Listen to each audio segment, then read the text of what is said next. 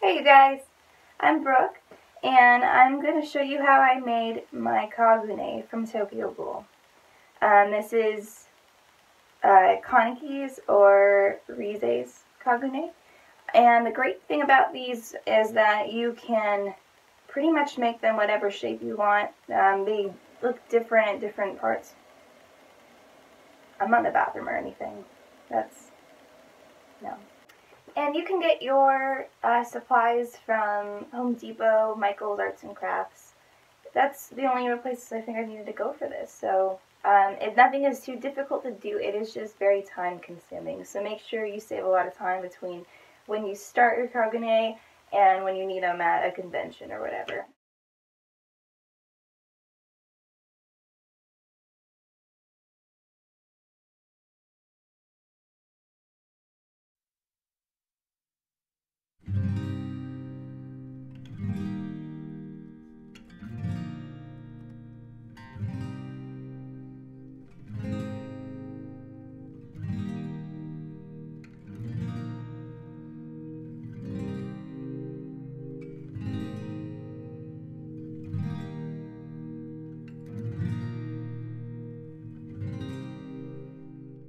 So the first thing you're going to want to do is take your PVC pipe and heat it up with your heat gun. Um, make it whatever shape you like the Kagune to be and this will be your skeleton for the whole design.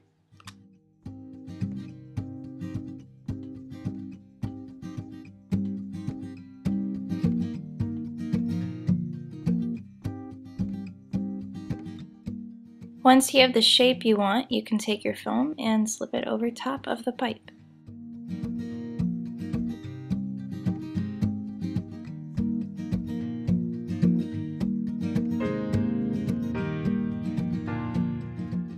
Throughout the process, I used my mannequin to use as a reference to make sure everything was the size and shape that I wanted it to be. Now we're going to take great stuff. You can get this also at Home Depot and you're going to cover everything that you want to be a different thickness. Um, and it doesn't have to be perfect because later we're going to take a Dremel tool and shave everything down.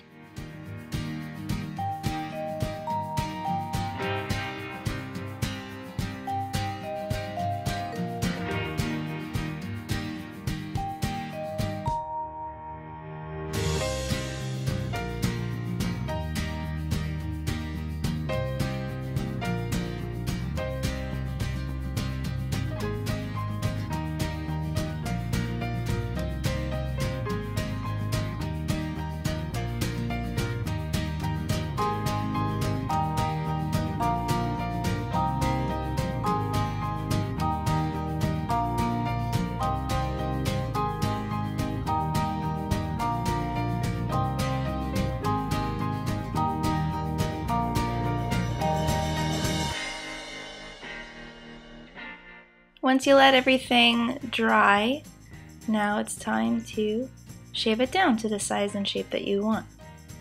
But first, safety kids. Cover your face, cover your mouth, because this shit gets everywhere.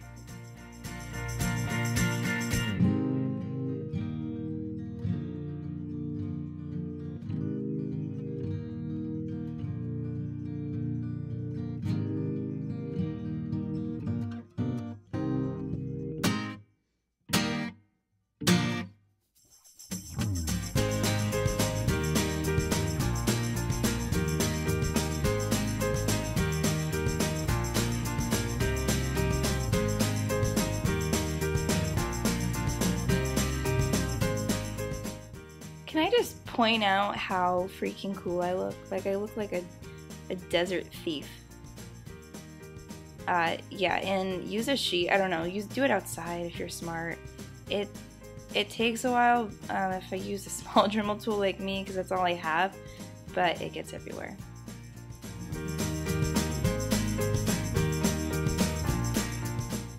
Next, we are going to start making the scales. So you want to make a stencil of the first scale, trace it out, and then cut out a billion scales.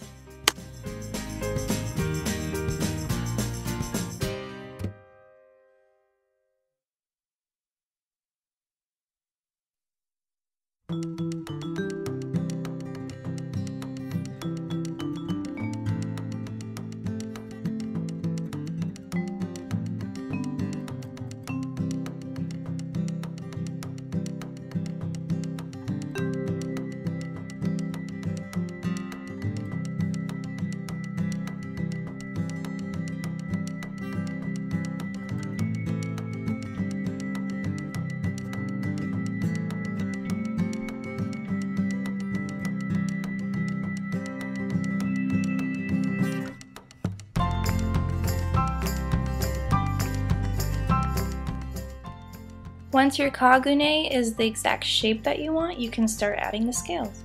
Um, work your way from the top and then go to the bottom.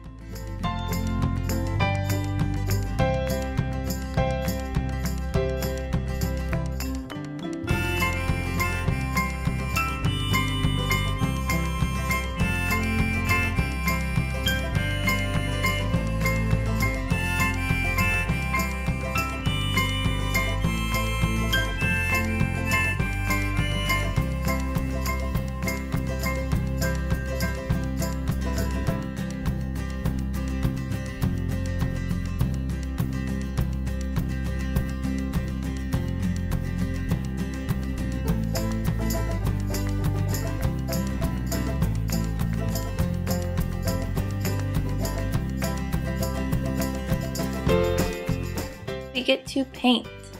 I started out by using a Plasti Dip to prime everything and then I just covered it with the spray paint that I wanted.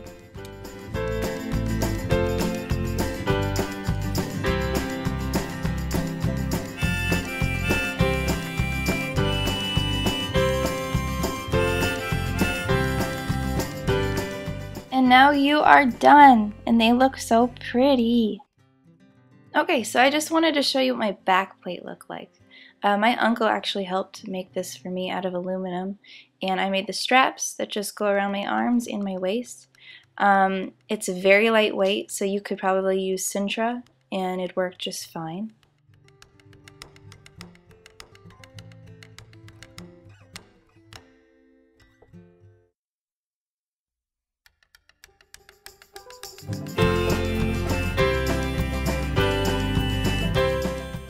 You can also get these at a hardware store and we just, you know, made holes and put them in there and you take the, the pipe, you slip it through and then you tighten them up.